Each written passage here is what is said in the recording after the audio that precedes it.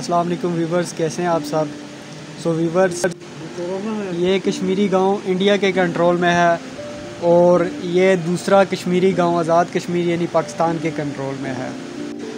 इन दो गाँव के दरमियान एलओसी है, जिसे लाइन ऑफ़ कंट्रोल कहते हैं।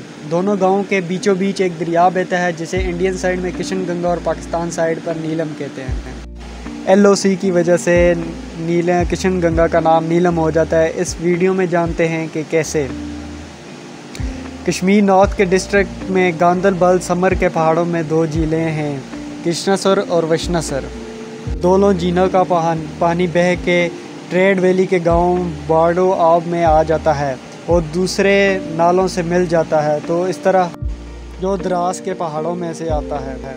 रास्ते में बहुत सारे नालों और चश्मों का पानी मिल जाता है और इनमें से एक नाला है जो बुर्ज गिलदियत के स्तोर डिस्ट्रिक्ट से बहते हुए इस दरिया में मिलता है। इस पूरे दरिया को इंडियन साइड में किशन गंगा कहा जाता है। किशन गंगा का नाम कृष्णा सर से मिला है।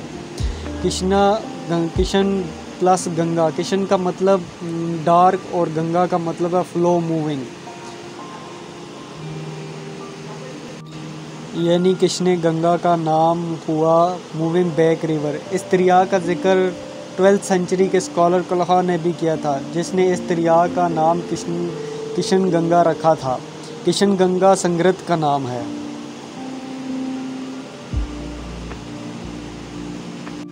मकामी दर्द आबादी जो कलहा से 20 सदियों यहाँ रहती थी, वो इसे अपनी लोकल ज़बान में सिंध रिवर कहते थे। इस दरिया पर इंडिया ने 330 मेगावाट का Kishan Ganga hydro power project बनाया हुआ है।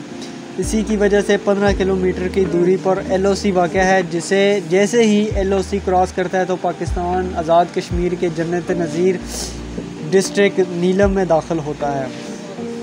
ये बात है उन्नीस सौ पैंसठ की, जब गवर्नमेंट ऑफ़ आज़ाद कश्मीर ने किशन गंगा से तब्दील कर, करके नीलम रखा और ये नाम सजेस्ट किया था सैयद मोहम्मद अमीन ने। यह ब्लू सफ़ीर कीमती पत्थर का नाम है। इस दरिया का नीलम पानी के नीले कलर की वजह से रखा गया है, जो ना ज़्यादा लाइट होता है और ना ज़्यादा डार्क और इसी रिवर के नाम के बेसिस पर पूरी नीलम का नाम, पूरी वैली का नाम वादी नीलम हो गया। एलओसी के बाद दरियाए नीलम आगे बढ़ता हुआ, चलहाना आज़ाद कश्मीर के मकाम पर इस दरिया की तरफ़ एक मकबूजा कश्मीर और दूसरी तरफ़ आज़ाद कश्मीर पाकिस्तान वाक़ है। आज़ाद कश्मीर से देखने वाला शख्स इसे दरिया को नीलम जबकि मकबूजा कश्मीर वाला इसे किशन गंगा कहता है। आखिरकार दरियाए नीलम मुजफ़राबाद में जहलम के साथ मिल जाता है और यहाँ पर दरिया का सफ़र ख़त्म होता है और हमारी वीडियो भी।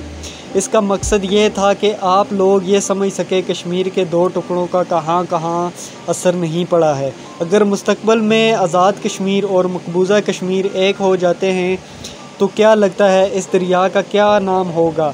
मिलते हैं आपसे अगली नई इंटरेस्टिंग वीडियो में। मेरी तरफ़ से आप सबको अल्लाह हाफिज़।